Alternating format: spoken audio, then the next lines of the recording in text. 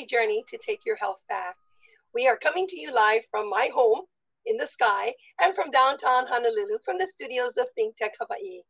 Today, we will hear from a handsome young 19 year old man as we journey with him as he's growing healthy despite COVID 19 and isolation. What we would like you to take away from today's discussion is on finding hope through adversities. But honestly, I don't even know that he looks at it that way in his life. He's just a young, positive man with a very positive smile on his face at all times. And that's the way I've grown to know him. Today, we are very honored to welcome 19 year old farmer Jax Kama, Kama Aloha Arruda, the owner of newly formed Kama Aloha Tower Greens. Welcome, Jax. Hello. Aloha. Yeah, I mean, so I know you're you're a little bit going to have fun with us today, and you feel like, oh, you're so young, but we're going to have fun, okay? Because the main thing is we share your heart with everybody who's watching us. All right? Yeah. Okay.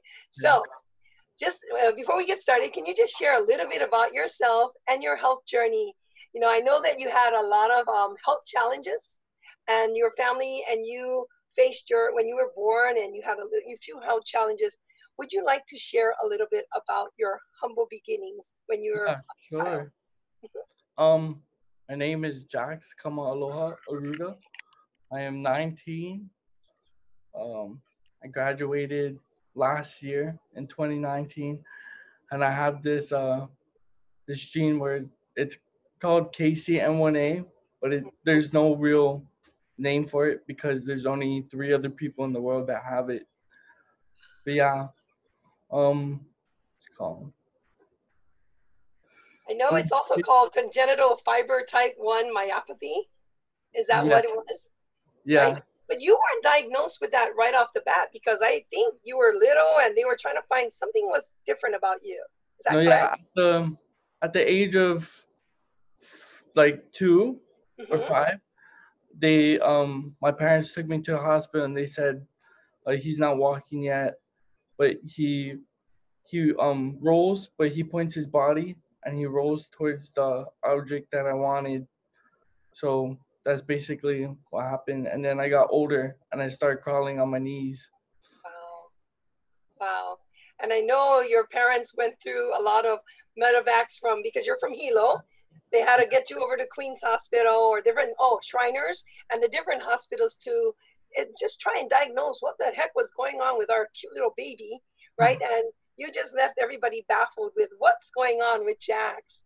So let's go fast forward, all right? So, you know, I know that you are a cute baby because you're a handsome young man, so you got to be cute when you're little. But you were also named MDA's ambassador, but not just for one year. I think you held the title for three years. So just tell us a little bit, Jax, what were some of your responsibilities as uh, uh, ambassador for MDA? And I know we have a cute picture of you doing that yeah. So my responsibility for being the ambassador of MDA was uh, donations. So I would go to um, KTA and well, was mainly KTA and we would set up a table and I would ask for donations for um summer camp. Right.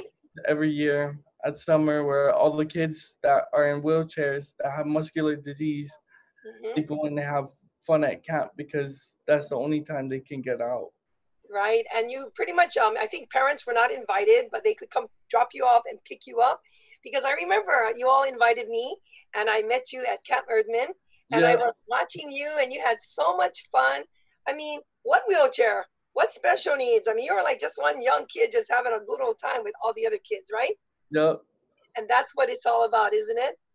Yeah. So, oh. so tell me, did you miss your mom and dad? Um, first time I went to camp, I did, but after that is I didn't miss. I didn't miss them. Yeah, well, yeah, you were growing up, and that's what the camp is all about. For you not to think about home and other things that you experience day to day, and to remove you from that environment, and to just have a great time with your other peers, letting you know that you're not alone and yeah. you're, you're special. But all the group, all the kids there are special. And so just giving you all the love and aloha. I think that's basically what the camp is all about. So now, I know that you had many health challenges from having your stomach pumped up. I mean, it was lodged into your chest. So yeah. you needed a feeding tube when you were a baby because you weren't eating well because you had a lot of different um, pains and issues.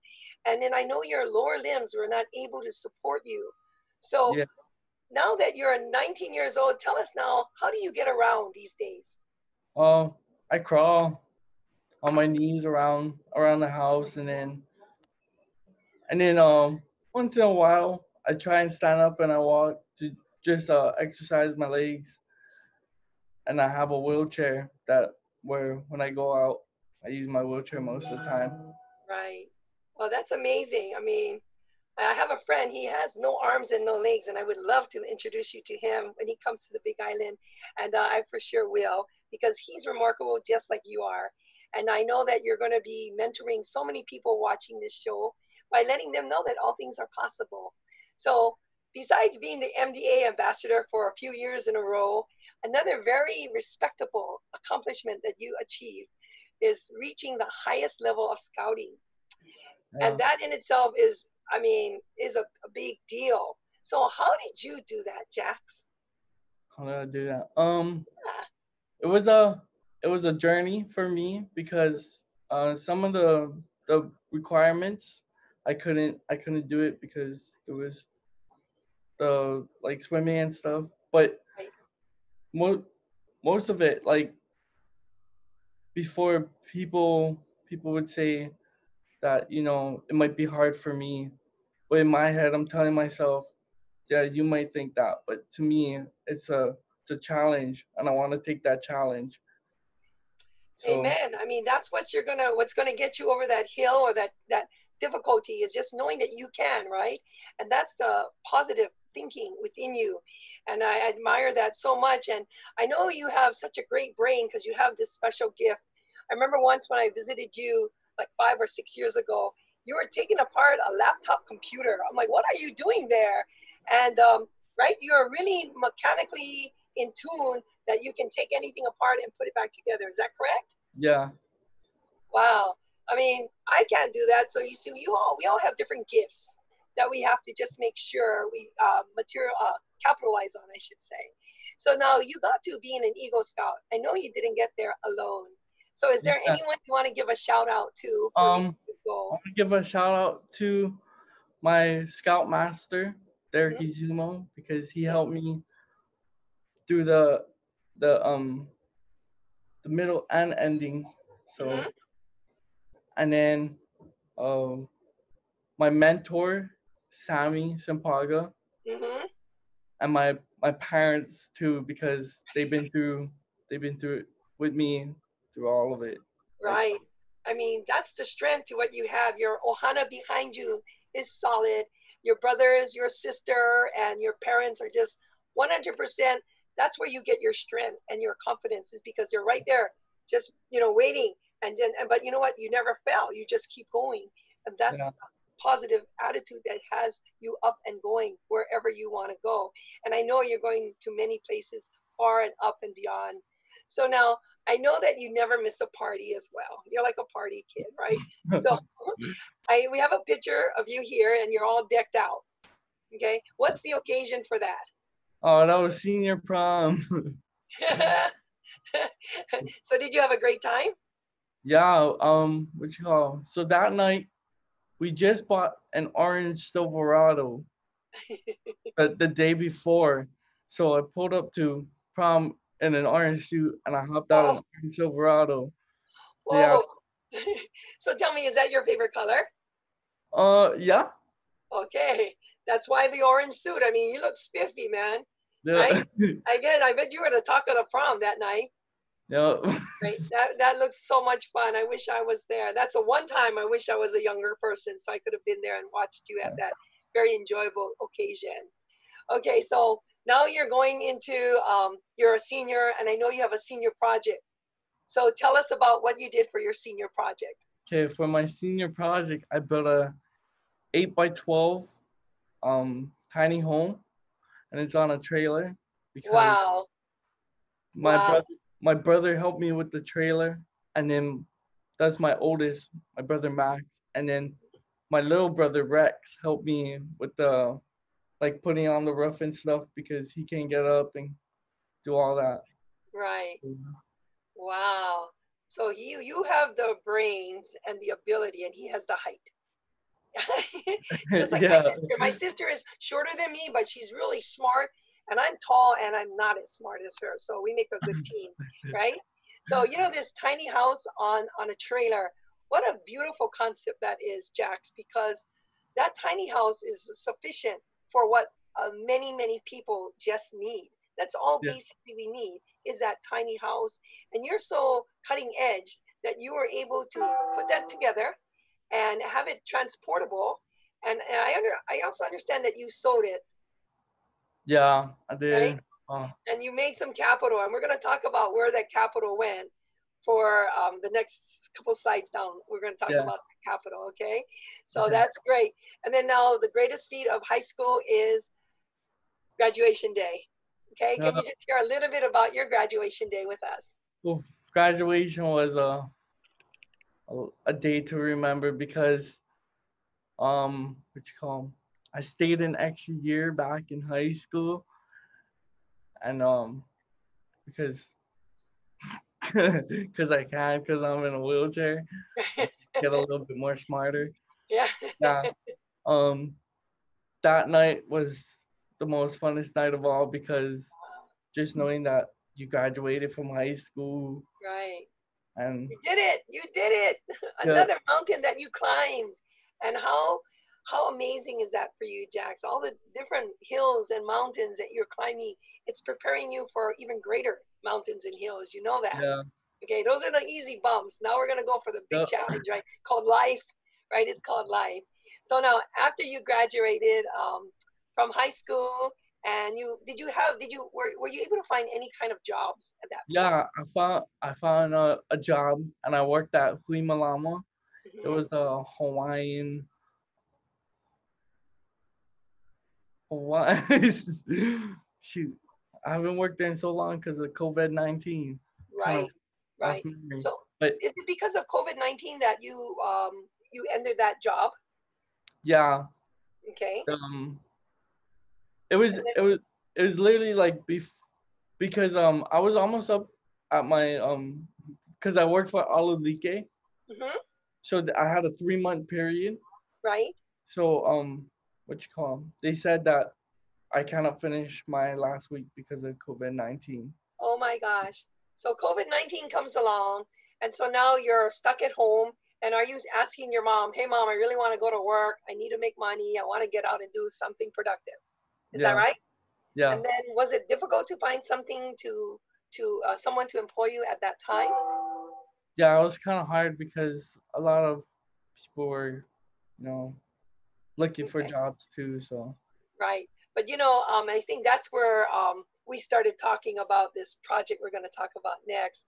But um, your mom says to me, "Oh, Jax is bummed out. He can't find can't find a job because of COVID." I said, "Duh." I said, "Seem like a few thousand, maybe a hundred thousand people right now that can't find a, a job or lost their job because of isolation and COVID." So I said, "You know what? You got some of those garden things out in the front of your yard. Go ask the family." if they want to do this as a business and let Jax take this and run with it. and so I want you to share with us um, out of this in, uh, negative situation, the isolation, yeah there was something very positive that came out of COVID, and that's going to spark a new chapter in your life. So I want you to share that that ray of sunshine in your life right now. So um one Monday night we have family home evening. And Max guys Max and his family was over and we were talking. And then my mom was talking to you. And she said um and then you guys were talking about the tower gardens in the on the side and in the back. And then my mom told Max and then Max was like oh yeah that would be a really good business right now because there's a lot of you know people that want vegetables hmm to eat, to And eat good more. qualities of vegetables, Yeah, right?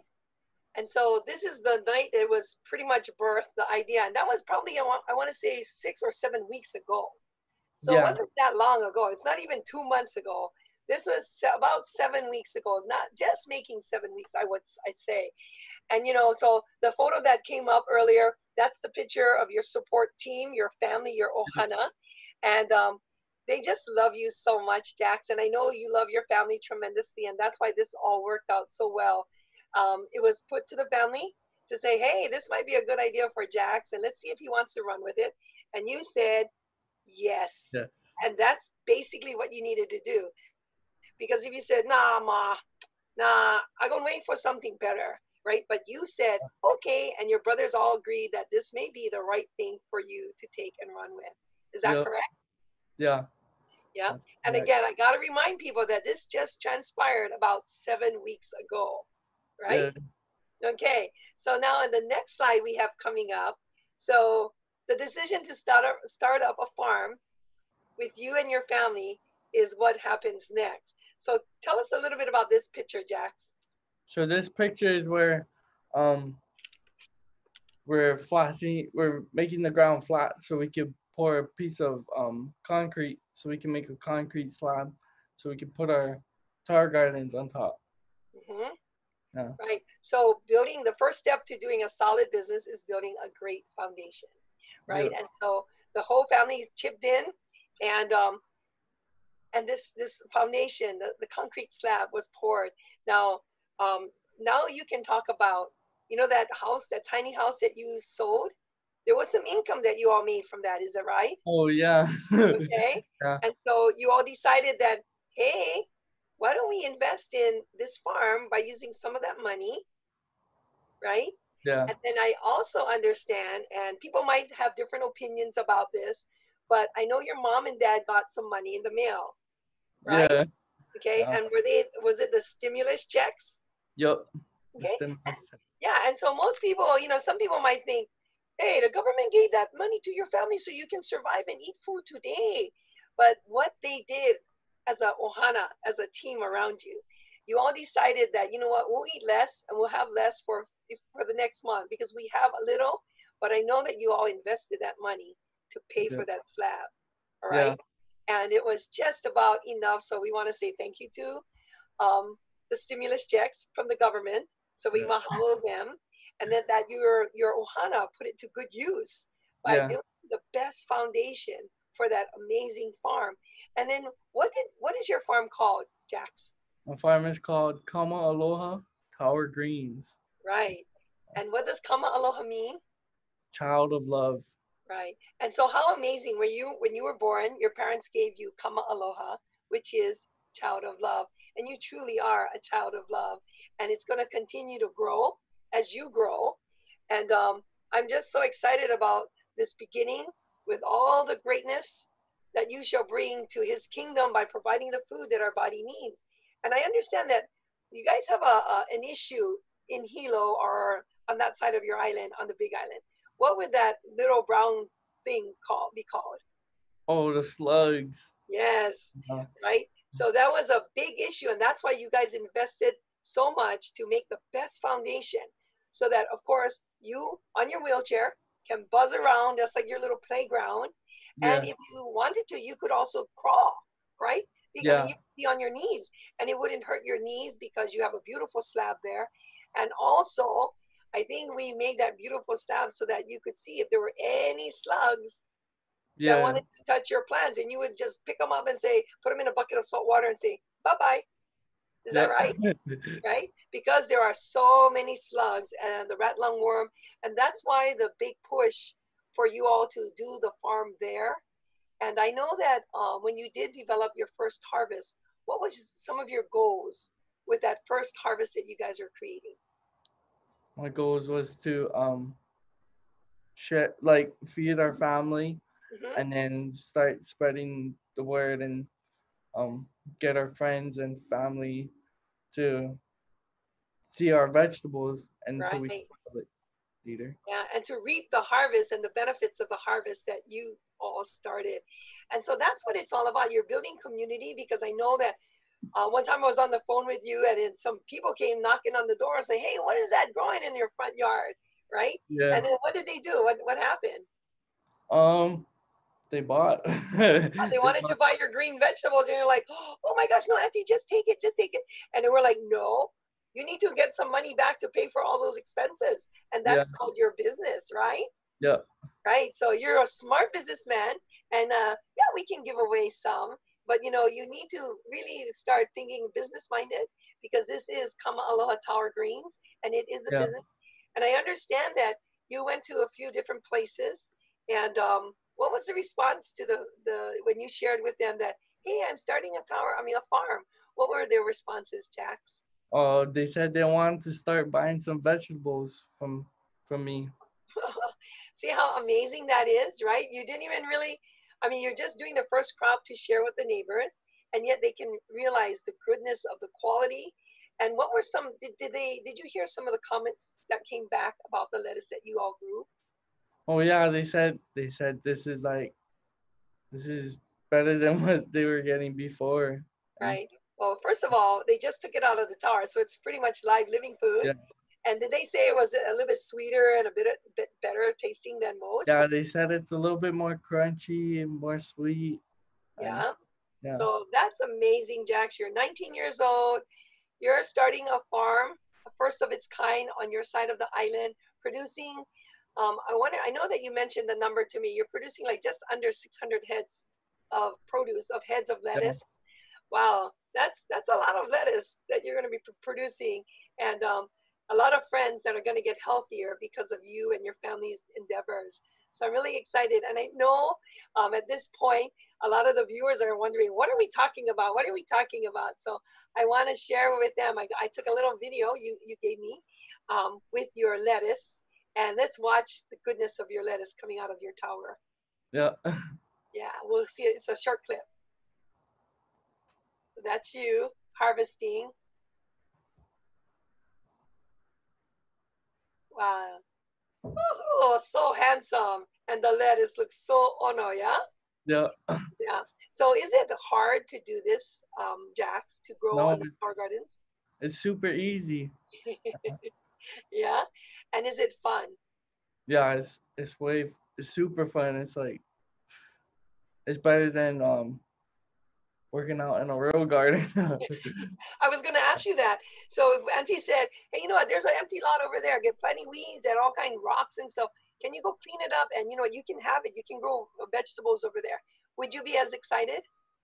oh, probably not. right? And Yeah. plus, I mean, what the heck? It's like right in your front yard.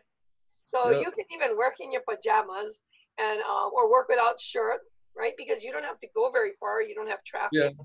right? Everything is very convenient. And so now the idea is you have people that are wanting to eat and buy your lettuce. And so now you just have to fine tune a little bit of the um, just the logistics, the delivery, the harvest times, and all of that. So, and I just want to keep reminding everybody that lettuce that you just saw, seven weeks ago, it was just the front yard with grass and weeds, right? No. Right. And then you're, as a kid, I know you used to play in that yard probably. And now, from being your playground, now it's your work site Yeah. right? How exciting is this? And you know, we just want to encourage others that it's all possible. Everything is possible if you believe and you have the right right work ethics, which Jax has. I mean, he made it to Eagle Scout. He was, of course, the ambassador for MDA, which you know he and with his family had to go out to KTA, you said, and different markets and sit there and promote MDA and fundraise for them. And I understand with that cute smile of yours, you guys are probably one of the top fundraisers Yep. Yeah. and that's why they probably asked you to come back because you guys were so successful is that right yeah. Yeah. And so do you still do any work with mda Um not not too much yeah, they closed their office, so not too much.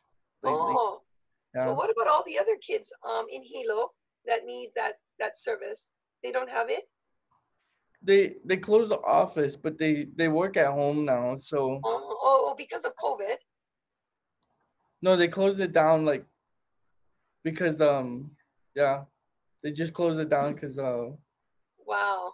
There's some stuff that went on. Yeah. Uh, okay. Well, um, I bet people are wondering how do we get in touch with Jax and how where do we get more information?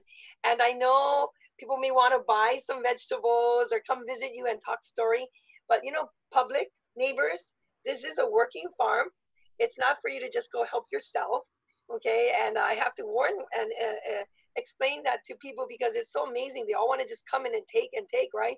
Of course they're going to pay, but you also, this is your business. It's no different than somebody walking into your store and picking up all your candy bars and potato chips and taking it home, right? Yeah, this is your business. So, yeah. well, I just want to caution people that be aware and very, um, yeah, sensitive to that fact that this is Jax's livelihood it, it is his business and he welcomes you and any questions. And that's why we put up his business card for you to call him or email him. And uh, any questions, Jax, if you need help with that, uh, we have a whole panel of people that can assist you with any of those questions. So I'm just excited for you, Jax. And this is just the beginning. It will take some hard work in that sun and rain. And I know you addressed some of that with that beautiful tarp covering that you have over your farm. But um, just be prepared. Hard work is the best best thing for you. All right. Yep. and always remember, Jax. So you know you have to remember success. Success to me is not just being at the right place at the right time, which you were. You were at the right place at the right time. But the best thing about success is being at the right place at the right time and you taking action. Yeah. Right? Because if yeah. you didn't take action, it still would be a front yard with grass and weeds. Yeah. But now we have production and a future for you. So right now, I just want to say mahalo, Jax, for being such a bright light in a darkness, uh, a time of darkness. And I just tell you, you have truly inspired me and the rest of our viewers to just all start doing greater things because we know all things are possible through Christ who strengthens us. So mahalo, Jax, and keep on growing. Aloha. Mahalo, Auntie Wendy. mahalo.